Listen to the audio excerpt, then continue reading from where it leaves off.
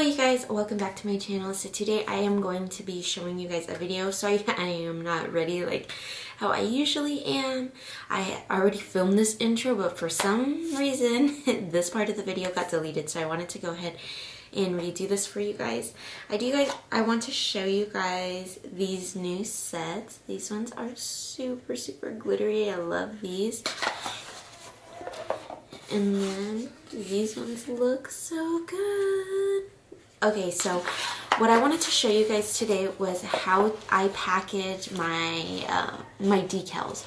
So let me go ahead and grab a decal real quick. Okay, so these decals, they are, this one, it, this one was a mess up, so I was thinking about giving these as gifts inside of, um, inside of like people's order if they do order decals.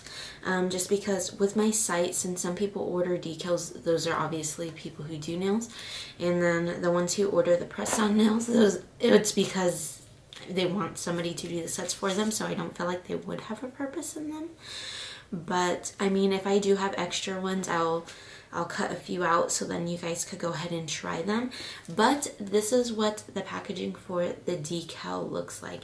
And I'm going to sh show you guys step by step of how I do this. Um, the reason why I do it the way I do it um, and how to save you guys a little bit of money. So let's go ahead and jump into the video and get started.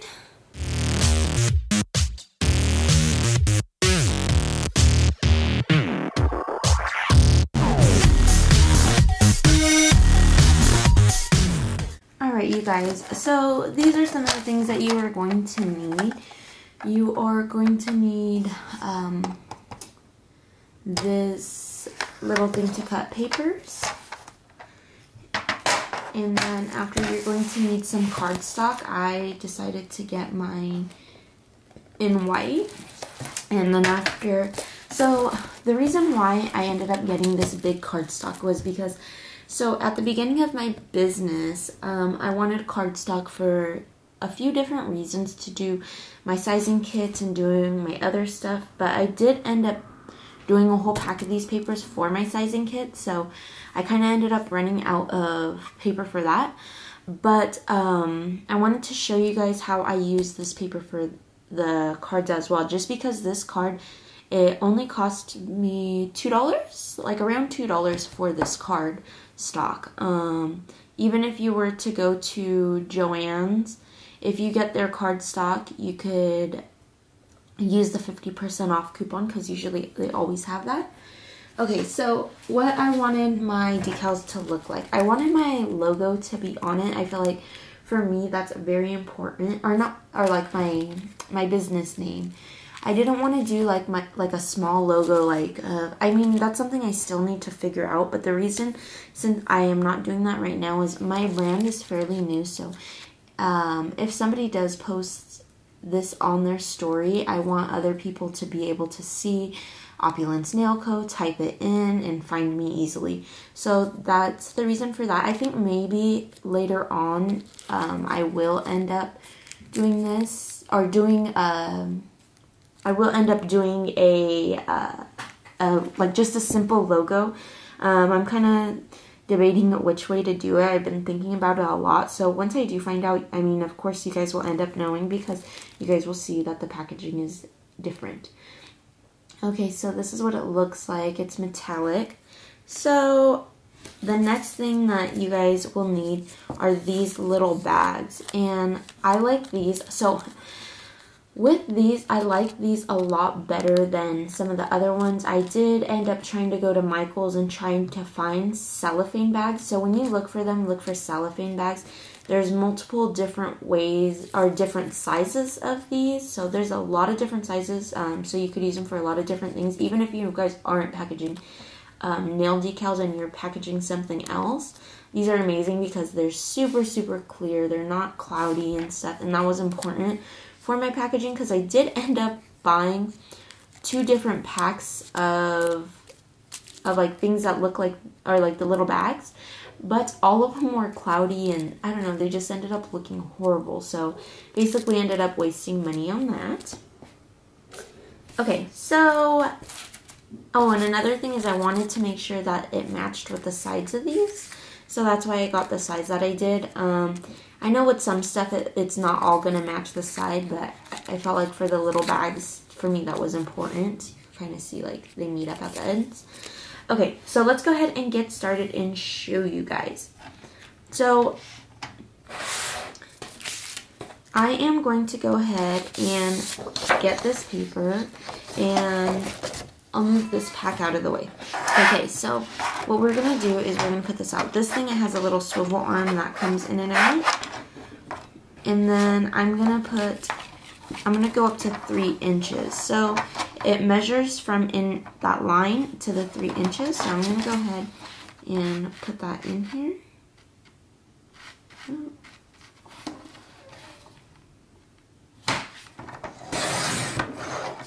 once my business does flourish and I'm able to to have the luxury of spending more money on certain things like having these already cut down to size um, that is something that I am going to be doing just because it will save me time in the long run and that's something that's important to me. I do have the time to do all of this, I'm able to do it. And even if I didn't have the time, like I mean, I think I would have hire someone to probably do this and help me out with some other things. Okay, so now that we cut these all down to three inches, we're gonna cut them by two inches now. So you're gonna wanna put them this way and then put them up to the line and do two inches on all of them. You could double these, but um, I just kind of want to show you guys like how I do it.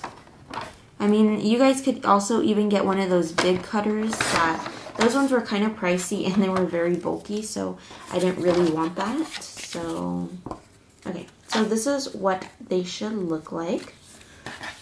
I'm going to go ahead and cut the rest off camera, and then after I'll show you guys what I'm going to do with those tabs. So now that we're done with that, you are going to want to um, divide the 3 inches. So that'll be 1.5. And then you're going to switch out this blade. So the how you switch it out is kind of bend this. And then you see the blade at the bottom. And then with this one, it actually comes with another one right here. And this one, it's a scoring blade. So this one's not sharp at all. And when you do this, you guys are going to want to make sure that you go through it once and that you're not going through it twice. Um, just because if you do, you end up cutting through the paper. I've learned that the hard way and I messed up too many of these. Um, not proud of that. So you're going to want to get it in here and then you're going to want to score the paper and applying some pressure and then it'll make a line in there so then once you guys are ready to use them, they will be nice and ready to be able to be folded. Which I feel like that is perfect just because if you're anything like me, folding papers is not the easiest. I always end up getting it wrong before I get it right. So just because I know that this is kind of a little bit tedious, but since I have the time, of course, like that's why I do the things that I do, just so I could save some money and um,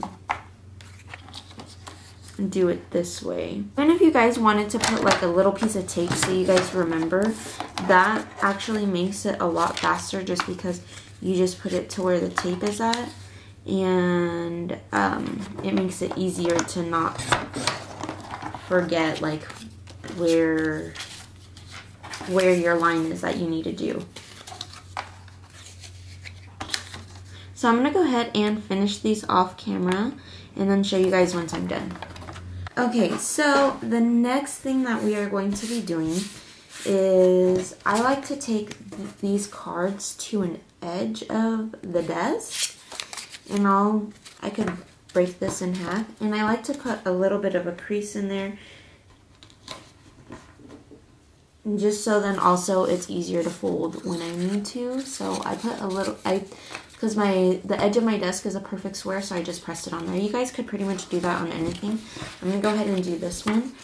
Just because even though it has a score in there, it sometimes tends to go off the line a little bit. So, I mean, this will help me. So this is about how many I ended up making. I don't know how much this was. I didn't pay attention to my cuts.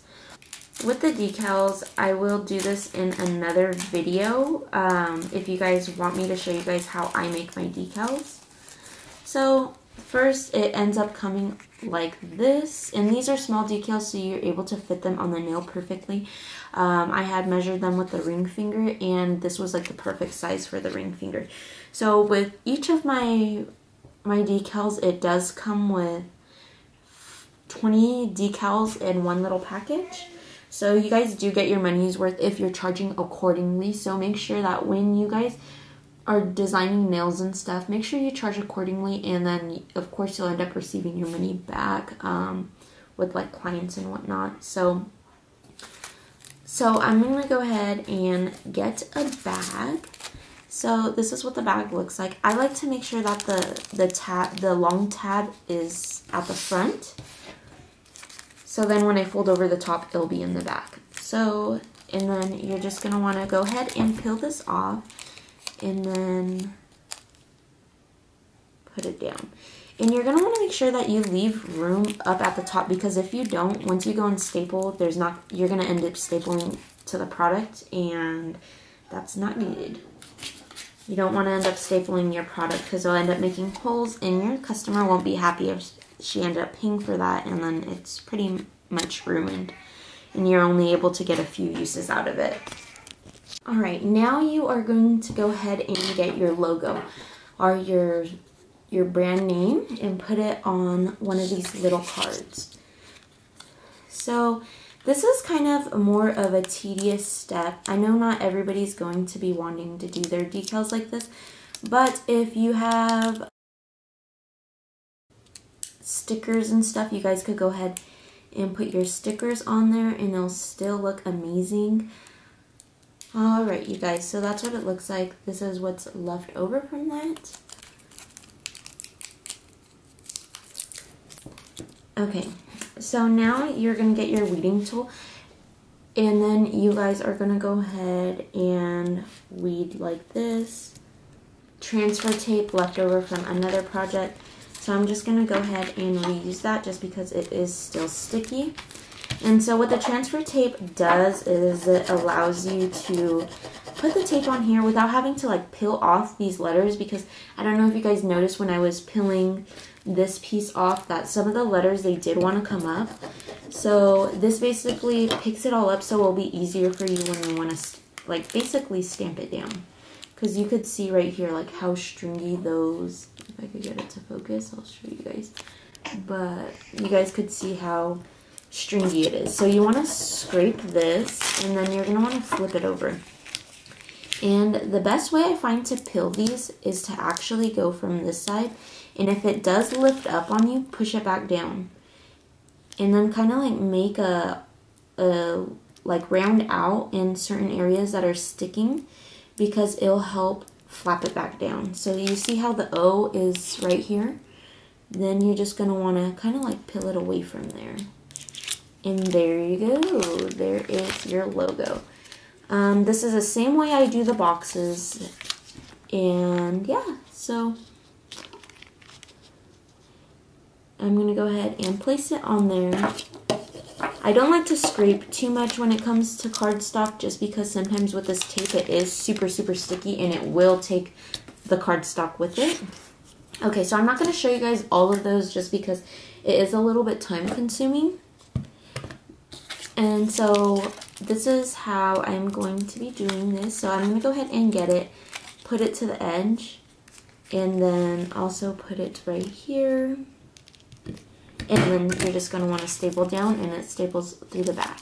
Right, so I'm going to go ahead and do the rest of my decals. These ones are the Gucci ones in white, another Gucci in white, and then some Chanel ones, Gucci in black, Chanel in white, Louis Vuitton in black, and then this one is the Chanel in gold. I I love the way the gold looks. Um, I also have these old English ones. I don't know if you guys have seen these ones, but these ones are awesome. I do really, really like these. Um, these are probably like one of my favorites because it, even if you see on these, oh wait, wrong box. So even if you guys see them on here, these are what the decals look like. I think this set, the next time I do it, I will do it in black. Look how pretty these are, you guys. Alright, you guys, so that is pretty much it for the video. I do want to show you guys how I do an order in another video. So if you guys are interested in that, go ahead and leave a comment down below and I will go ahead and get back to you guys. Um, so yeah, don't forget to like, comment, share, and subscribe to my channel. And as usual, I'll be back with more videos. Bye.